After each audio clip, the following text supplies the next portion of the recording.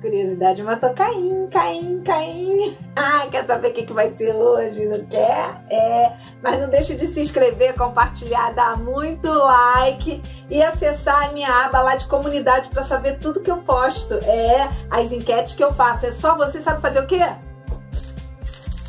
Tocar o sininho. Que tudo que eu posto você vai ficar sabendo. E agora, quer saber o que é que vai ser hoje? Quer?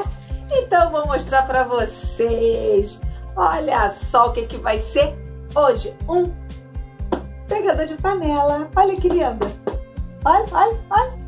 Você não queima a sua mãozinha no forno, nem na panela, nem encosta em lugar nenhum, porque não vai te queimar. Você quer aprender a fazer esse lindo pegador de panela? Quer? Panela quente? Quer? Então!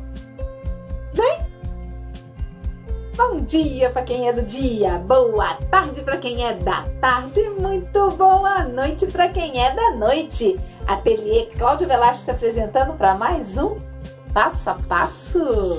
Bem, então, então para fazer esse aqui nós vamos precisar dois tecidos, tá? O daqui e o daqui, só trabalho com tricoline, tá bom? No tamanho de 75 por 17, tá? Dois tecidos, ó. Esse e esse aqui, que eu vou fazer agora de laranja. Esse aqui já está na manta. Vamos precisar da manta também, ó. Tá vendo como é que eu deixo um espaço? Para poder cortar tudo direitinho? Então, colocamos aqui. Agora, nós vamos fazer um sanduíche. Vamos recortar essa beirada aqui, tá? E fazer um sanduíche com esse outro aqui. Vamos precisar dessas duas partes aqui, que é também de 17 de largura por 21 de comprimento, tá? 17 de largura, 21 de comprimento. Duas partes, ó. Igual que a gente fez aqui. Ó, uma para cima, uma para baixo, uma para cima e uma para baixo, tá? Então, vamos precisar de duas e mais duas. Duas do tecido principal. Os dois são tecidos principais, né? Porque apesar de que esse aqui tá para dentro, mas esse também aparece. Então, os dois são tecidos principais, ó. Dois desse e dois desse, nós vamos fazer também o sanduíche. Aqui também já coloquei a manta, ó. Não sabe colocar manta, gente? Essa aqui é a R2. Vocês podem trabalhar com a R1 também, não tem problema não. Como é que você coloca a manta? Ó, tá vendo? Ela tá coladinha, ó. Ó, isso é bem para principiante, hein? Pega a manta, tecidinho que você já cortou, coloca em cima, sobrando sempre as beiradinhas, gente, ó. Sempre sobrando as beiradinhas ferro quente, tá? Ferro bem quente. Nunca passa em cima da placa, hein, gente? Essa placa é de plástico. Aí ela pode fazer assim, ó, uh, tá? E você vai deixar alguns segundos para a cola soltar da manta e aderir ao tecido, ó, tá vendo? Ó. Viu? Não é para deixar para queimar não, hein, gente? é para deixar um pouquinho, alguns segundos, ó, coladinha. Evita que o ferro pegue na manta, senão a cola solta e pega no ferro. Aí depois vocês vão ter que fazer o quê, ó? Passar um bombril para poder tirar. Com ferro quente, vocês passam um bombril que sai essa cola que tá aqui. Tá bom? Ó, feito aqui, aqui já tá feito, que eu já fiz tá? Agora nós vamos fazer o quê? Cortar o excesso de manta. Aqui. Vamos cortar aqui o excesso da manta para poder colocarmos a outra embaixo dessa aqui e fazer um sanduíche. Gente, isso aqui é muito fácil de fazer, gente. Isso aqui é sanduíche, tá? Não deixe de compartilhar, se inscrever, dar like tocar o sininho para ativar as notificações e a minha aba da comunidade, porque eu posto muita coisa lá. Pessoal que tem o sininho fica sabendo antes de todo mundo o que, que vai ser, porque eu, eu coloco lá na comunidade. Sempre que eu coloco, quem tem o sininho ativado recebe primeiro. Qual vai ser a próxima aula? E faço enquete também, perguntando o que, que vocês gostariam de que eu fizesse de vídeo. Tá bom? Então, não deixe de ativar as notificações clicando no sininho. Ó, cortei, não cortei? Então, vou fazer agora a mesma coisa que, que é colar aqui atrás a parte de dentro. Ó, vamos lá. Aqui, ó. Colocar aqui. Tô fazendo aqui em cima da placa, gente, porque é por causa da câmera. Então eu tô botando esse negócio aqui bem grosso, ó, para poder o calor não passar para a placa. Tá? Aqui, ó.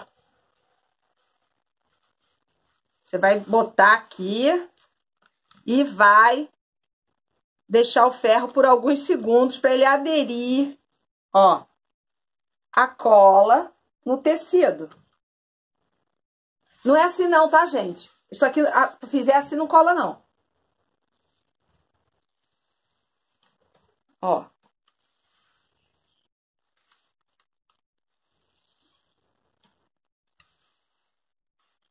Você vai fazer isso nessa parte, nessas duas partes aqui. E depois nós vamos quiltar isso aqui. Ou matelacê, tanto faz, gente. Tem gente que fala que é matelacê, tem gente que fala que é quilt. Então, vocês falam o que vocês acharem melhor. Tá? Vamos fazer um quilt reto. Quem souber cabinho de bêbado também pode fazer, que vai ficar bonito. Quem não souber, faz o quilt reto, que é mais fácil tá?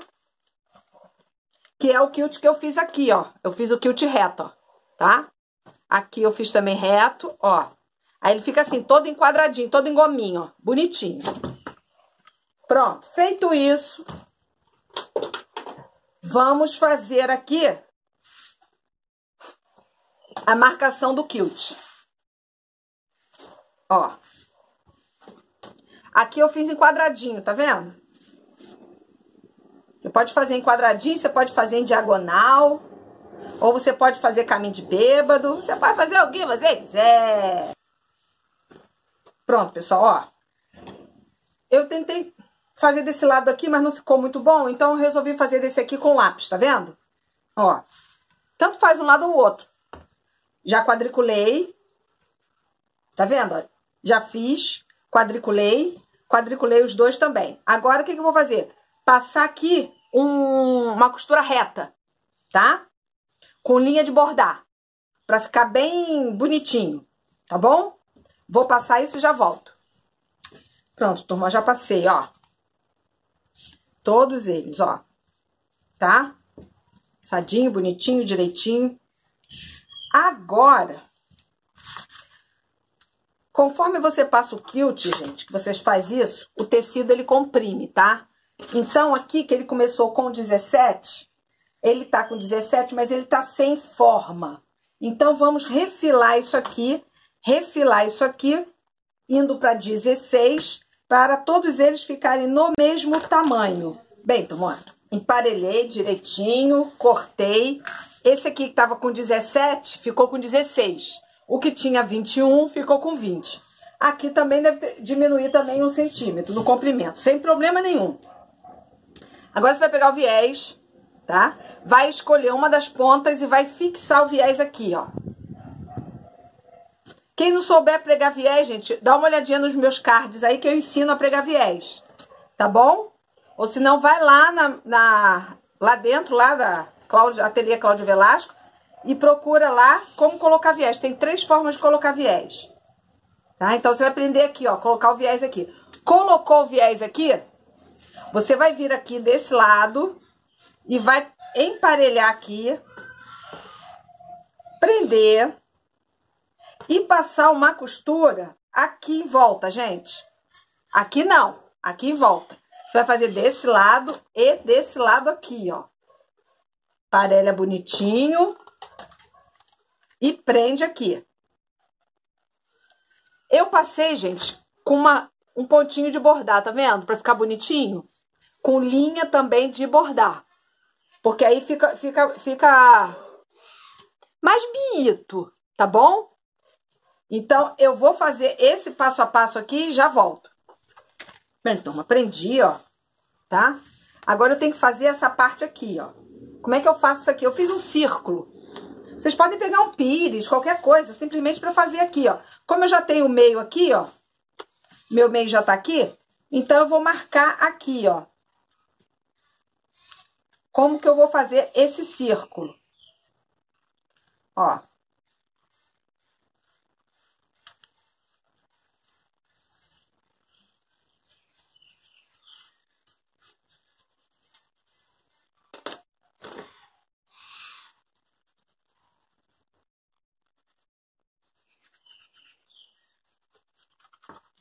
Tá lá, marcadinho. Chego aqui e corto, ó.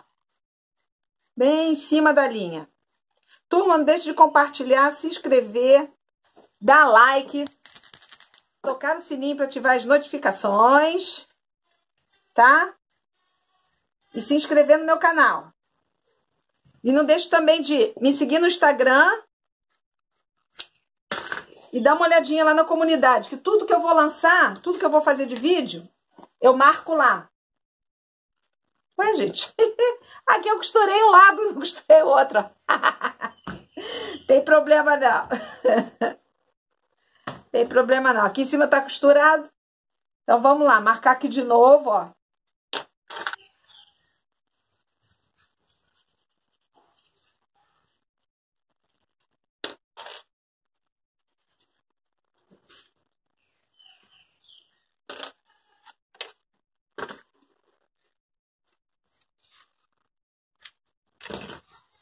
Pronto.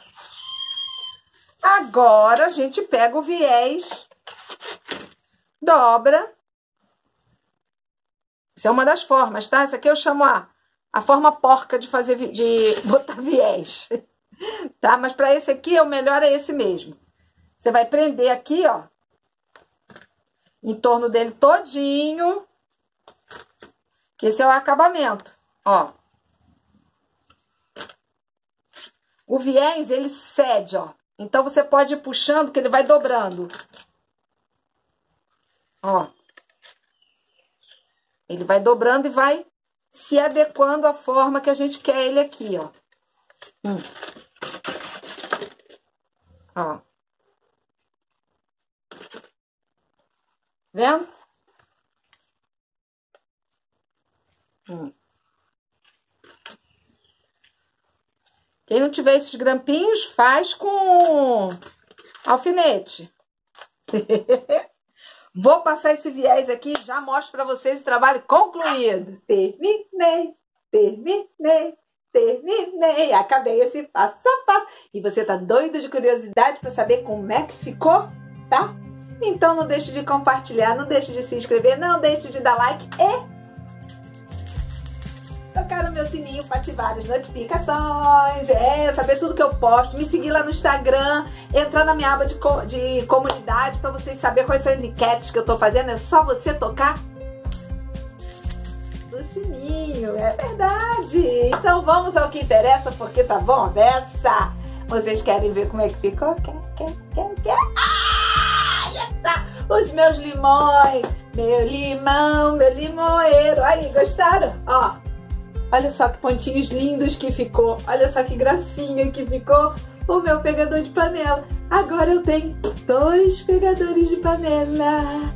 Ó, um maiorzinho que o outro, tá vendo? Ó, fiz esse aqui mais curtinho e esse aqui mais compridinho. Você pode fazer o tamanho que você quiser. É isso aí, turma. Por hoje eu terminei. Vou ficando por aqui, ó. Um beijo lindo no coração, ó de todos vocês aí. Fui!